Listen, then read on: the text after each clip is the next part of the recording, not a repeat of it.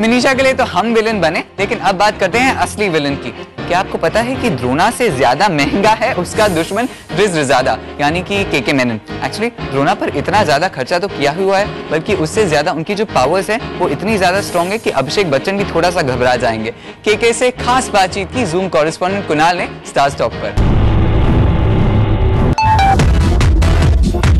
पता नहीं क्यों ये जालिम दिल है ना?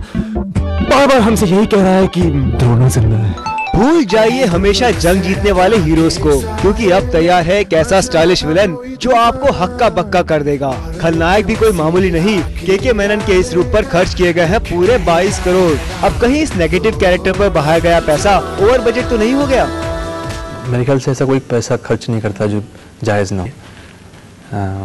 तो बहुत ही ज़रूरी था क्योंकि इसमें ऐसी बहुत सारी चीज़ें हैं जो खर्चीले हैं और जो आसान नहीं है करने के लिए right from costumes to everything K K Menon के कैरेक्टर पर न सिर्फ़ पैसे खर्च हुए बल्कि इस खलनायक को बेशुमार ताकत भी दे दी गई। ये सारी तैयारियाँ ये इजाद ये शौहरत ये जादू फिजूल है।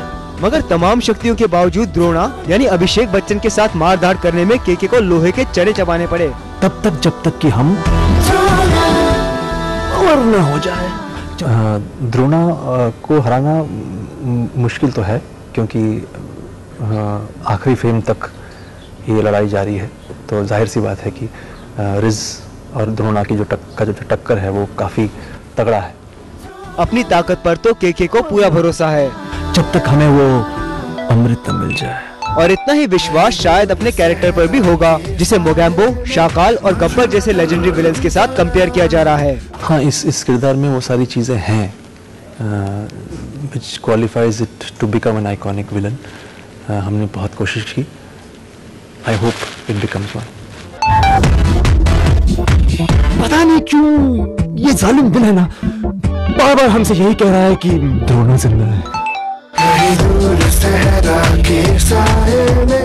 में मचला था कोई तूफ़ान और एक मसीहा के आने का लिख के केके के कैरेक्टर की पावर से हम बखूबी रूबरू हो गए लेकिन सुपर पावर के इस मालिक को ये चोट कैसे लग गई जिसकी वजह से उन्हें घायल हालात में ही फ़िल्म को प्रमोट करना पड़ा?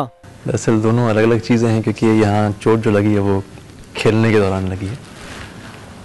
आज तक ऊपर वाले का शुक्र है कि शूटिंग में कभी चोट नहीं लगी। उम्मीद है के के अपनी चोट से जल्द उबर आएँगे। आखिर इस कदर घायल हुए विलेन को कहीं लोग पहले से ही द्रोणा से हारा हुआ ना मान ले। कुणाल मांडेकर जूम मुंबई